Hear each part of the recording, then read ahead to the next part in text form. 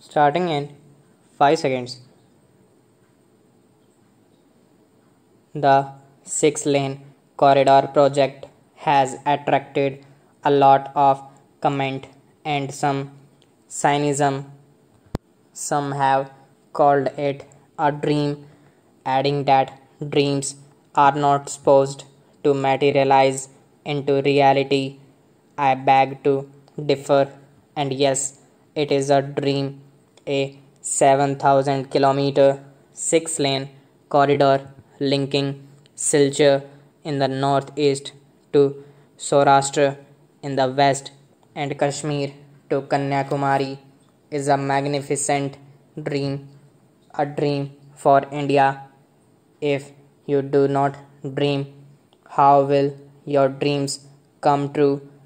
Questions have been raised about the financing involving 28,000 crore of rupees for a nation that saves more than 300,000 crore rupees per year, a country that imports nearly 28,000 crores worth gold largely for savings has ample resources for several projects of this scale and dimension. The north south east west corridor, when completed, will save 15,000 crore rupees a year just by way of petroleum products saved and a like amount in wear and tear of vehicles and life and limb of drivers not taking into account the time saved and efficiency achieved in transportation of goods we have the will and the means and the technical know-how to undertake this project and it will move in the direction I outlined in a speech to FICCI. I would like to remind you that Bhakra Dam was viewed as an impossible dream in the early 50s.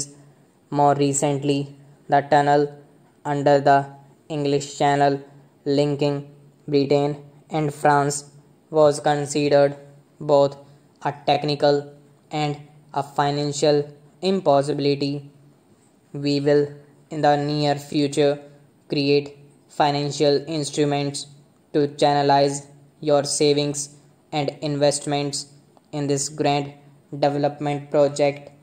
There are enormous employment and investment opportunities in India's information technology sector, which is the fastest growth segment of India's economy. My government is committed to speeding up its growth. The first report of the National Task Force on Information Technology and Software Development, containing 108 recommendations, has been accepted. Many of the recommendations have now been notified. They will remove the bottlenecks that had constrained this sector from growth even faster. The second report devoted to strengthening India's hardware sector is with the government.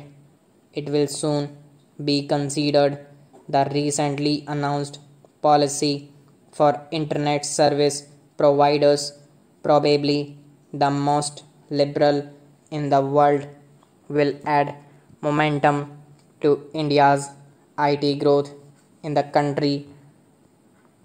Telecommunications is a vital infrastructure for the development of the economy. We have taken a series of measures to open this sector for private investment and provide a level playing field we shall announce a new telecom policy soon to achieve a quantum jump in this sector. The global mobile personal communications service has already been permitted and the Iridium project has been launched on November 1 as scheduled. It is worth noting that out of 4000 crore of rupees foreign direct investment inflow in telecom since 1991 almost 50% has come during this year. This is an indication of the immense investment opportunities and the improving investment climate in this sector.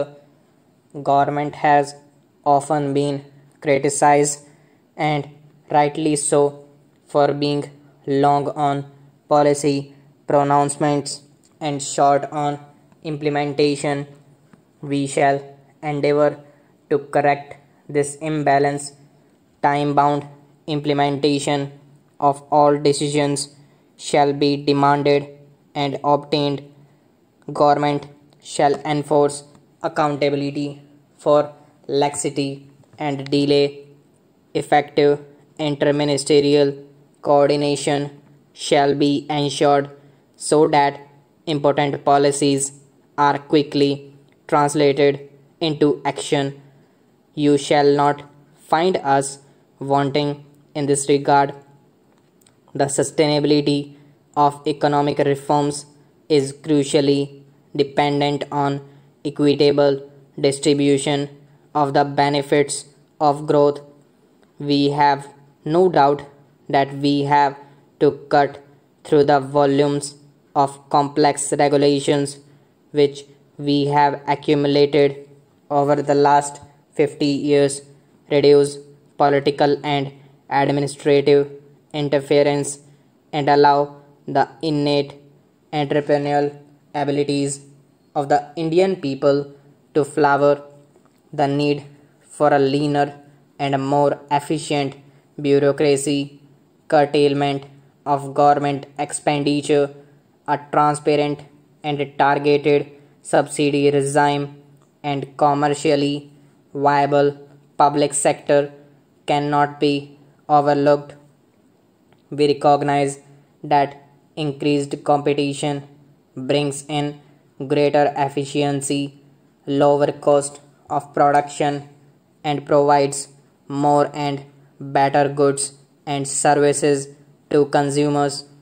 However, the government also appreciates that a more market oriented and less regulated regime does not imply an abdication by the state of its responsibility towards the poor and the disadvantaged. Our policies and programs will adequately reflect both these crucial concerns. Sustainability of reforms in any country is also critically linked to the popular sport base of such reforms, the sport base would be fast eroded if reforms fail to deliver broad based employment generating growth and make a perceptible dent on poverty. In this context, I am happy to say that reforms in India have indeed been successful not only in preserving this popular sport base but in strengthening it further in the largest democracy in the world. Reforms have not only stayed on course but also actually accelerated even with changes in popularly elected governments. This is only an adequate testimony to the popular base of reform. Stop